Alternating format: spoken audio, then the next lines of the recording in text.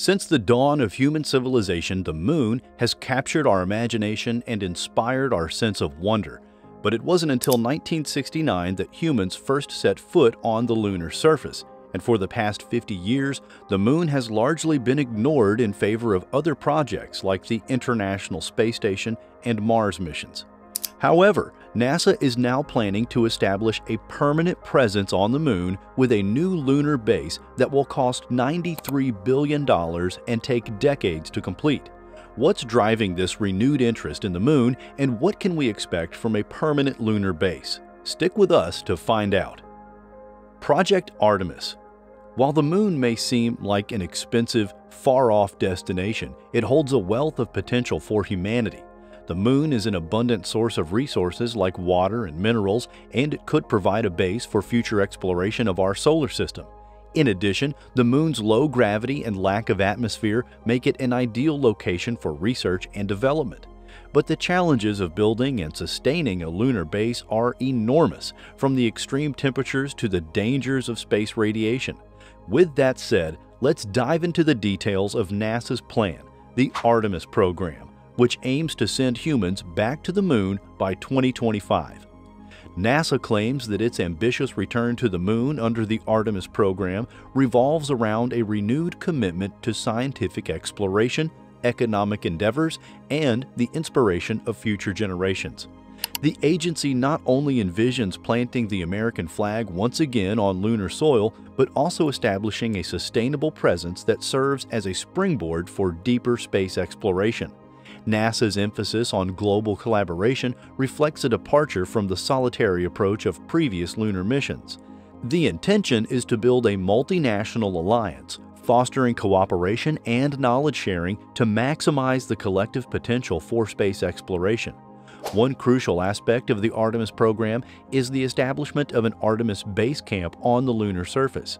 This would serve as a hub for scientific activities, allowing robots and astronauts to conduct research and experiments in an environment unique to the Moon. The lunar surface offers a plethora of scientific opportunities, from studying lunar geology to testing technologies that will be essential for future deep space missions. Complementing the Artemis Base Camp is the Gateway, a lunar orbiting outpost. The Gateway serves as a staging point for lunar operations, facilitating communications between Earth and the lunar surface. Its strategic location enables efficient transportation of astronauts and cargo to and from the Moon. The Gateway's modular design allows for flexibility in accommodating various missions and partnerships, reinforcing the collaborative nature of Artemis. Despite the optimism surrounding Artemis, it's essential to acknowledge the historical context of lunar exploration and the challenges faced by previous attempts. The most iconic lunar mission, Apollo 11 to 17, achieved significant milestones but were discontinued after Apollo 17 in 1972 due to budget constraints, changing political priorities, and diminishing public interest. These hurdles highlight the importance of sustained funding, bipartisan support, and effective communication to ensure the longevity of contemporary lunar programs. One notable failed attempt to return to the Moon was NASA's Constellation program initiated in the mid-2000s. This ambitious project aimed to develop new spacecraft, including the Ares 1 and Ares 5 rockets, and return astronauts to the Moon by the 2020s. However, Constellation faced technological and budgetary challenges leading to its cancellation in 2010 under the Obama administration. This setback highlights the fragility of long-term space exploration initiatives in the face of changing political landscapes and financial constraints. So, how does NASA plan to carry out the Artemis project successfully this time around? Well, NASA is leveraging 3D printing technology in collaboration with AI Space Factory for the upcoming Artemis mission. Trust me, I know what you're thinking at this point. 3D printing technology once promised to revolutionize construction and daily items a decade ago but seemingly fell short. However, there's a new perspective from an expert, Moataz Attallah. In essence, he suggests that advancements in technology have transformed the types of materials used in 3D printing. Initially relying on plastics, recent developments have enabled the printing of substances like concrete and metal. This shift has not only enhanced the strength of the final products, but also sparked interest from NASA as it aligns with evolving design possibilities, particularly in construction. For this project, AI Space Factory is tasked with constructing a cutting-edge 3D printed lunar base camp named LINA, designed to accommodate astronauts and robots during their mission. The multifunctional lunar bunker will house essentials such as astromobile, telecommunication devices, habitation modules, and more. Its primary purpose is to shield occupants from various lunar challenges, including radiation, seismic activity, extreme thermal fluctuations, and meteorites.